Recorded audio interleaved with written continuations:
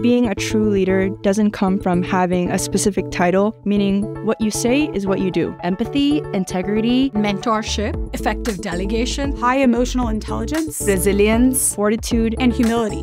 Sharing credit where credit is due and taking more than your share of the blame the former CEO of PepsiCo, Indra Nooyi, the first woman of color and immigrant to run a Fortune 50 company. My very first case at HBS was on PepsiCo, and I was the first cold call in my section. So my excitement was on another level talking about her. Sandra Horbach, the America's co-head of corporate private equity at Carlyle. I chose to join Carlyle to work with her. I also trusted her advice to go to business school to improve my judgment and learn how to voice my opinion eloquently. Mary Barra, CEO of General Motors, entering such a male dominated industry, getting to the top with her leadership style of being assertive while also being empathetic with her employees. Lisa Su, the CEO of AMD, Advanced Micro Devices. She has the unique combination of both technical genius as well as business acumen. She led an incredible transformation and turnaround of AMD into one of the fastest growing semiconductor companies in the world. The female protagonist that left an impact on me was Debbie Lovich, partner at Boston Consulting Group.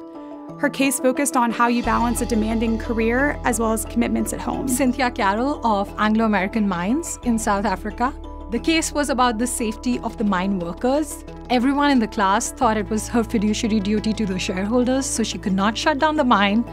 But she made the hard decision to close down a mining plant. She still paid the salaries to the workers. She said we wouldn't open back until it was very, very safe for my employees. Even at the cost of a lot of money to the firm, she prioritized their health and safety. She followed through, and I have huge respect for that. Being empathetic or being sensitive, I feel, is not a reason for people to think that you cannot be a powerful decision maker. I've learned the importance of listening to others and encouraging quieter voices to speak up within a team setting People think that women can have it all and they're pretty much at the same level that men are, and things have finally become equal.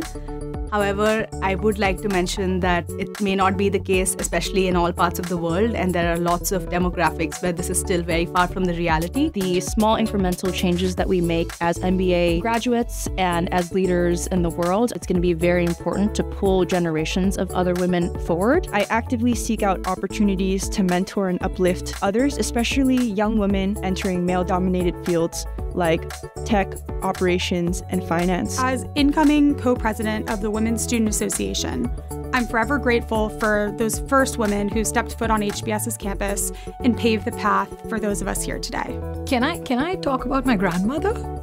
Women who inspire me or who've changed the way I think. I was brought up by my grandmother who was never given the opportunity to go to school and I learned egalitarianism from her.